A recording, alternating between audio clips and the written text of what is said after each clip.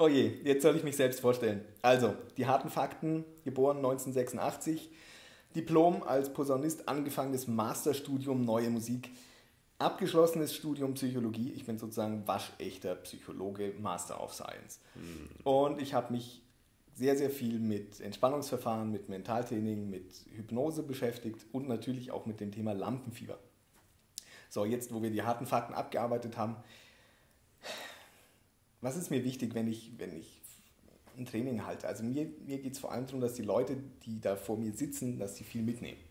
Und mir war auch von Anfang an klar, dass ich dieses Thema Lampenfieber, was ich wirklich sehr, sehr wichtig finde und wo ich wichtig finde, dass junge Musikerinnen und Musiker sich damit eingehender beschäftigen, dass ich das nicht alleine machen will, sondern dass ich dafür, ja, und da kam eigentlich nur einer in Frage, nämlich der Maximilian, dass ich dafür einen Partner brauche. Und so haben wir vor vier Jahren äh, Rampensau-Training gegründet. Ich kam, äh, auch wenn wir beide große Schnittmengen haben, wir haben zusammen im Jugendorchester gespielt, aber eigentlich aus einer anderen musikalischen Ecke dann letztendlich. Ich bin Jazzsänger, freischaffender Musiker jetzt, äh, Pädagoge und Hypnosecoach. Ich habe äh, eine Hypnoseausbildung gemacht. Und mir war das genauso wichtig, weil ich selber gemerkt habe, dass mein Potenzial irgendwie auf der Strecke bleibt in dem Moment, wo ich auf die Bühne gehe, weil ich so gehemmt bin durch alles, was da ein Musiker so durch den Kopf schießt. Und das ist ja ein sehr verbreitetes Phänomen und deswegen haben wir uns zusammengetan, weil wir beide uns wünschen, dass mehr Leute einfach ihr volles Potenzial auf der Bühne entfalten können, sich da wohlfühlen können und gerne auf der Bühne stehen und Leuten zeigen, was sie können. Ich glaube, das Rampensau-Training tut jedem Musiker und jeder Musikerin gut. Punkt. Punkt.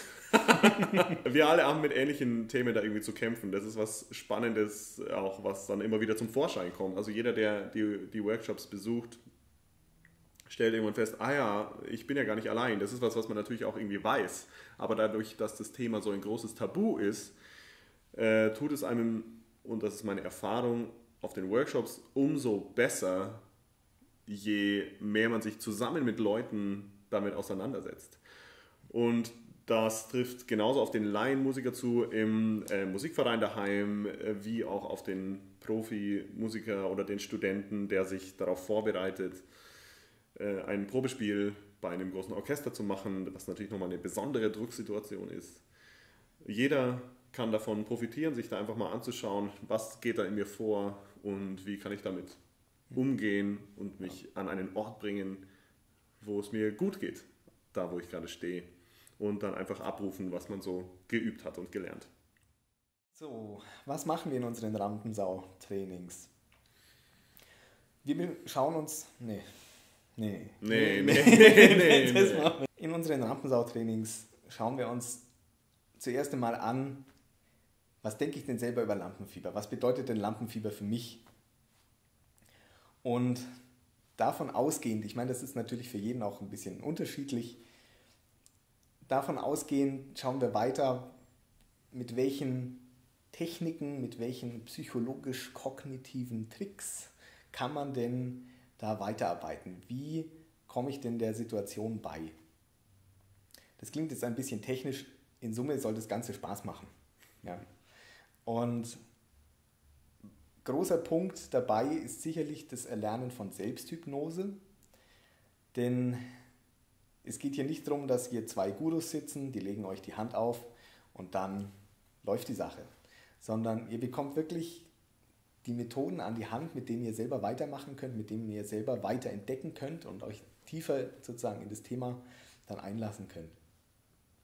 Und wir schauen uns auch ganz sicher an, was sind denn eure schönsten Momente gewesen? Was waren denn Auftritte, wo es wirklich Bock gemacht hat? Ja, wo es wirklich, wo ich gedacht habe, ja, genau deswegen mache ich doch die ganze Sache. Ja. Und da schauen wir uns nochmal an, wie können, wir, wie können wir denn diese Gefühle wieder herholen? Ja? Wie können wir uns da wieder nah ranbringen und das intensiv erleben? Wir beleuchten das Thema Lampenfieber von verschiedenen Seiten. Einerseits, wo kommt das Lampenfieber her? Was läuft in einem Menschen ab, damit er Lampenfieber bekommt? Also so eine äh, Herangehensweise, die aus der Psychologie kommt, sehr viel von Daniel.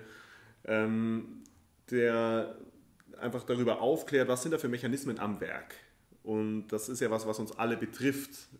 Darum haben ja so viele Musiker Lampenfieber. Und äh, nicht nur Musiker.